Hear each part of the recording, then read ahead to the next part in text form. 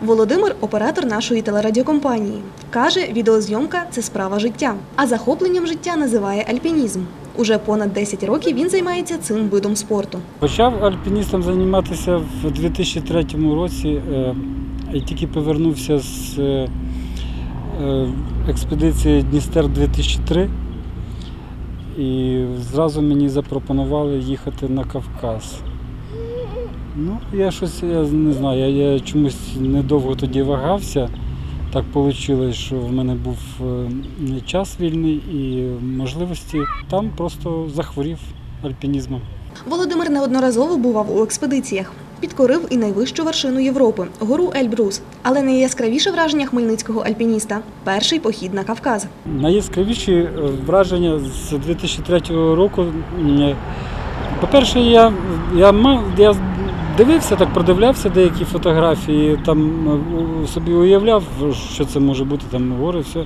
Ну, що це настільки враження подавали повні- повністю завладіває якби всім тобою. А ось 21-річний В'ячеслав, на відміну від свого колеги, займається альпінізмом не так давно, з 2010 року. Каже, обрав цей спорт, аби зробити своє життя яскравим. Чому я почав займатися альпінізмом? Через те, що бракувало в житті якогось драйву, екстриму, е, якогось е, таких вражень яскравих.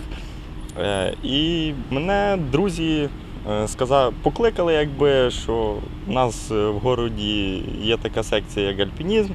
Е, Хорошо можна і віддихнути, і позайматися і фізично, і в компанії побути. І мене це зацікавило, я вирішив попробувати. Для В'ячеслава теж найбільше запам'яталася його перша експедиція. Втім, він зізнається, що кожна з них була по-своєму цікавою.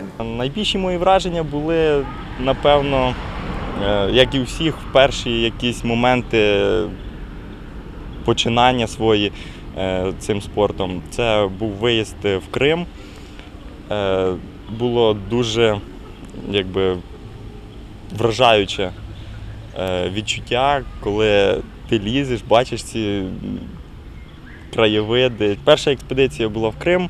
Е, Після неї було дуже багато виїздів е, як і в Карпати, і як в Кавказ. Е, На Кавказі теж дуже сподобалось.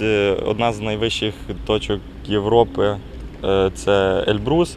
Альпінізм дороге задоволення, адже надійне спорядження коштує багато. Крім того, сходження на вершини вимагає від спортсмена відмінної фізичної підготовки. Фізично тяжко йти.